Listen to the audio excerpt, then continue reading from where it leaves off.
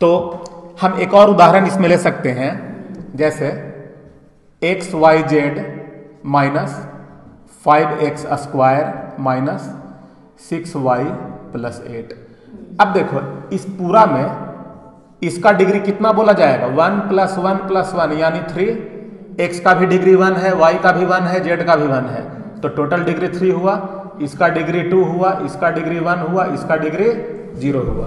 तो highest degree हमारा तीन है तो ये भी हमारा क्यूबिक पोलिनोमियल नहीं आएगा, लेकिन अंतर ये है कि ये सिंगल वेरिएबल नहीं है, बल्कि हाँ तीन अलग अलग वेरिएबल है।